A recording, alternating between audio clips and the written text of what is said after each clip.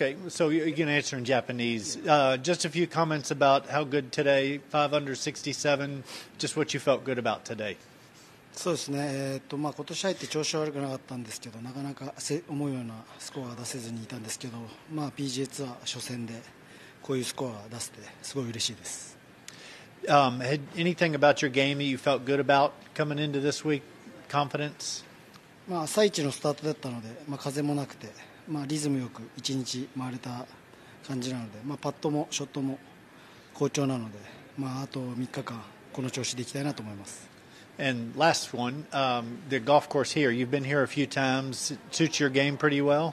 いやあー、まあ、このコースは相性はすごいいいと思うので、まあ、本当にイメージがすごい出しやすいホールが多いので、まあ、なんとか風が強いのが一つですけど、まあ、それをなんとか耐えて攻めるホールで攻めて頑張っていきたいなと思います。Thank you. Thank you. Thank you.